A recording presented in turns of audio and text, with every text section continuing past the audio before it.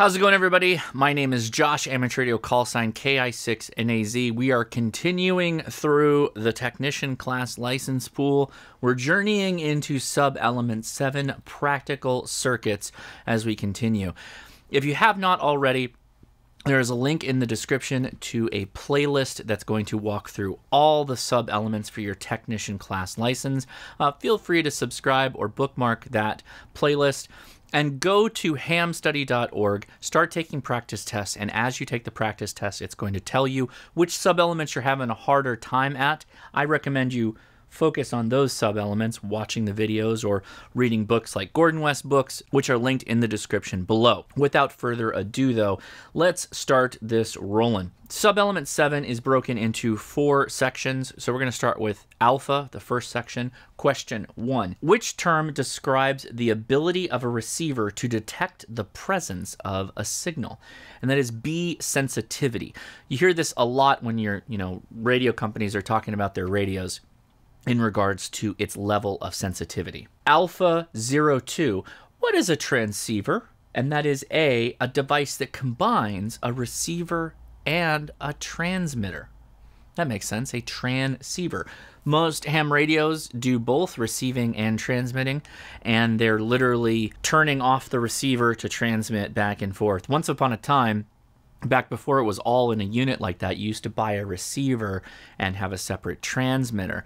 And they actually had a line that you would connect into the receiver that would deafen it before transmitting so you don't blow it up. Kind of important. Alpha 03. Which of the following is used to convert a signal from one frequency to another frequency? that component is a mixer. Alpha 04, which term describes the ability of a receiver to discriminate between multiple signals, and that is selectivity. You will hear selectivity come up um, oftentimes on the shortwave listening hobby, where we look for receivers that have high selectivity, that are really, really good at discriminating um, signals that are not a part of that primary frequency. Oftentimes, as you start paying more money for better ham radios, a lot of what you're getting is the ability to be selective about the received signals. Alpha 05, what is the name of a circuit that generates a signal at a specific frequency? So it could be just a sine wave, but that is D, an oscillator. They're used in many, many things, including things outside of amateur radio. Alpha 06, what device converts the RF input and output of a transceiver to another band? And that is C, a transverter. These come up a lot in uh, when people want to go into like microwave frequencies for amateur radio. We'll take something like a 2 meter or 70 centimeter ham radio, hook another box to it that's a transverter box, and that box will step up that frequency from 2 meters or 70 centimeters into gigahertz or wherever we want it to be. Alpha 07, what is the function of a transceiver's PTT input?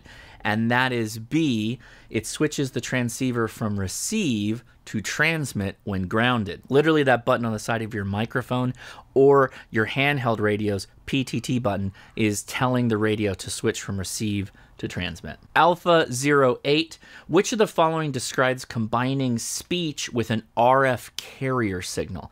And that is C, modulation. Alpha 09, what is the function of the single sideband or abbreviation SSB slash CWFM switch on a VHF power amplifier. So, like a toggle switch. And is B to set the amplifier for proper operation in the selected mode.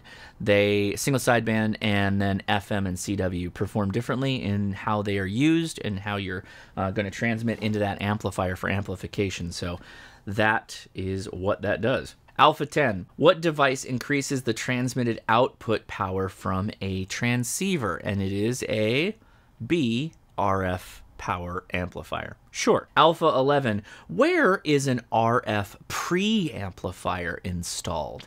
And that is A between the antenna and the receiver. So those can be discrete boxes. Uh, there is usually a preamplification stage in your receiver as well. I have an antenna that has a preamp built into the line somewhere, and that gives a bit of amplification onto the receive signal that you then pick up on the radio. So that was the alpha section.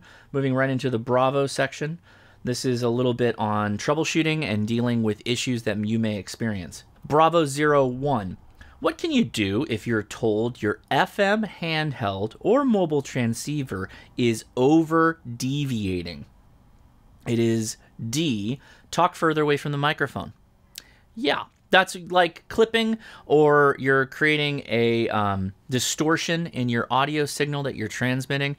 Oftentimes, the easiest fix for that is to take the mic away from your mouth, or if you can, if the radio has this capability, dial back the mic gain some if you don't really want to uh, take your mouth away. Bravo 02, what would cause a broadcast AM or FM radio to receive an amateur radio transmission unintentionally? That would be A, the receiver is unable to reject strong signals outside the AM or FM band. So this is a selectivity issue, which we talked about earlier in section A. Some cheaper radios, particularly non-super heterodyne radios or heterodyne family-based radios, are going to be more susceptible to this type of uh, un unintended reception of signals that's often a sign of it being a cheaper radio. Uh, so keep that in mind as well. It's not necessarily the amateur's fault that another station is hearing the amateur radio station and not the broadcast station, for instance. Bravo 03. Which of the following can cause radio frequency interference? And it is D. All of these choices are correct. A, it could be a fundamental overload, just a strong signal. B, harmonics, or C, spurious emissions. Harmonics and spurious emissions are a byproduct of transmitting, oftentimes the sign of a poorly filtered transmitting radio. When we talk about Baofengs um, having issues with harmonics and maybe sometimes spurious emissions, that's what we mean, is it can create interference on other adjacent frequency spaces or bands. Bravo 04, which of the following could you use to cure distorted audio caused by RF current on the shield of the microphone cable? And the answer to this is D, a ferrite choke. A ferrite is a mixture of some type of a metallic uh, and epoxy or some kind of blend that allows it to create like a donut, right? A metallic donut. Or like a noodle that's bisected, right? And it's cut down the middle. And then they're usually in a plastic form that clamps onto the cable in question, in this case, a microphone cable, like an XLR cable. What that ferrite does is create a high impedance field that will kick off stray RF that gets onto the shield of the mic cable or just random uh, common mode currents that are picked up in the environment. This is often good if you want to like eliminate a hum that you might pick up on a mic cable or something along those lines. Bravo 05, how can fundamental overload of a non-amateur radio or TV receiver by an amateur signal be reduced or eliminated? So this is helping to suppress someone with a non-amateur radio or a television. A, block the amateur signal with a filter at the antenna input of the affected receiver. This could be a bandpass filter or something along those lines that only would allow that particular broadcast frequency space to get through uh, and then null out the amateur frequencies that are adjacent to whatever um, is in that, that residential area or whatnot. Bravo 06, which of the following actions should you take if a neighbor tells you that your station's transmissions are interfering with their radio or TV reception? And that is A, make sure that your station is functioning properly and that it does not cause interference to your own radio or television when it is turned to the same channel. So this mentions radio and television. I already mentioned television. We, we've kind of got around all that by going to digital signals, but The the best research that you can do, and this is going into the weeds a little bit. Sometimes people will see your ham radio antenna. Uh, maybe you have a big antenna like I do on the roof, and they'll start to come up with reasons why their devices aren't working and, and want to blame it on you. Uh, you're not necessarily obligated to fix their problems for them. And the best thing you can do to prepare for any issues is to test your equipment against your radio or television in this rare instance where that's a thing to make sure that you don't interfere with yourself. And if you're not interfering with yourself, then the odds are pretty low that you're interfering with them. Bravo 7. Which of the following can reduce overload of a VHF transceiver by a nearby commercial FM station? And it is D, installing a band reject filter. And these are available online, or you can look up plans to create your own, but it basically creates a null point. It filters out for for example, the FM broadcast frequencies, for instance. And in my case, I have a really really strong AM radio station less than three miles away as the crow flies, and so I have installed a AM broadcast filter on my amateur radio station to prevent that type of overloading. Bravo 08. What should you do if something in a neighbor's home is causing harmful interference to your amateur radio station? This is D. All of these choices are correct, and let's walk through these. A. Work with your neighbor to identify the offending device. Uh, what they have not mentioned here is that sometimes just brokering that discussion can be uh, a little uncomfortable. So let's continue reading.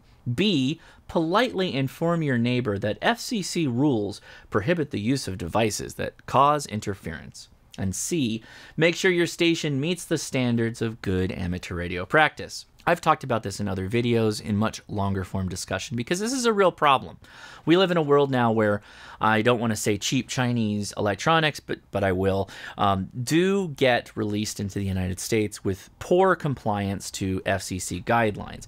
And this can yield a situation where something as simple as a power inverter, a charging cable for some of these devices, is actually transmitting these spurious emissions that causes interference on your station. I experience it. I'm sure you've experienced it. Pretty much every ham in their entire lifetime will experience it at some point. The difficulty here is not that there is a requirement to have FCC compliant devices. Okay, sure. You can say that until the cows come home to your neighbor and they're not going to care. The best thing you can do is try your best to build some kind of a rapport with your neighbor, have some kind of relationship where you can bring up things like this, and then earnestly and honestly try to help them um, to help you in solving the problem. Oftentimes, this is best done by explaining why they're having devices like these could be having issues to their own electronics. It just so happens that you're a prime candidate to find the issues because you're a radio operator and an enthusiast. And so explaining to them, well, that, hey, you're also interfering with your own electronics most likely. And if i help you out here it might improve some of the other issues you may be having around your home. That is a true statement. It will depend of course what the um, offending device is but it will often help them out too. It's not just going to help you. Bravo 09, what should be the first step to resolve non fiber optic cable TV interference caused by an amateur radio transmission? Um, get on HDTV. D. No, the answer is D. Be sure all TV feed line coaxial connectors are installed properly. Yeah, sure. Because if they're loose, uh, once upon a time, you know, the I don't want to say arcing, but that where you know the, the connector's not like on there all the way, uh, you would sometimes that would pick up amateur radio signals, which is kind of wild. Again, we, we've kind of uh, gone away from this. Analog television is kind of a thing of the past, but we still should probably understand it. Bravo 10. What might be a problem if you receive a report that your audio signal through an FM repeater is distorted or unintelligible? And D, all of these choices are correct. Your transmitter is slightly off frequency. Okay. B, your batteries are running low. Probably also true. You start to transmit less power if that's the case. C, you are in a bad location. This one is more often true than not. Location is everything, particularly for line of sight radios. So if you can't hit a repeater in your home like you normally could, get up, move around the home, potentially even go outside, and that can solve the problem pretty quickly. Bravo 11, what is a symptom of RF feedback in a transmitter or transceiver? So, meaning your own RF is feeding back into your radio. It is C, reports of garbled, distorted, or unintelligible voice transmissions. So, what's happening there is your mic cable um, is picking up RF, which is getting into the microphone sensor and then getting into your radio. So, it's almost this weird kind of RFE feedback loop type of thing. You want to avoid that wherever possible. All right, so that was section B. We're moving into section C. This is a good section. So this is Charlie 01 of subsection 7. What is the primary purpose of a dummy load? Have you've ever heard of that before? Dummy load. A. To prevent transmitting signals over the air when making tests. Uh, yeah, it's like a fake antenna. You can crank up your radio to full power, or at least the full power that the dummy load can accept, and you can use that for testing your transceiver. We often also deploy a dummy load when we start doing amplified amateur radio using an amp, and we'll use the dummy load to tune up the the the amplifier with a tube based amplifier before we go into then through the antenna and out the air. So, dummy loads, very important for your shack. Many of you likely will uh, end up having one if you get into HF amateur radio. Charlie 02, which of the following is used to determine if an antenna is resonant at the desired operating frequency? And we use B, an antenna analyzer.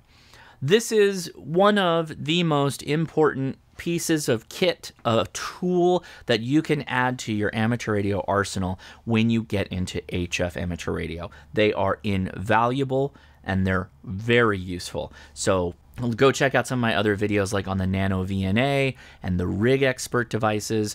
Very, very good. So there's that one. Charlie 03. What does a dummy load consist of?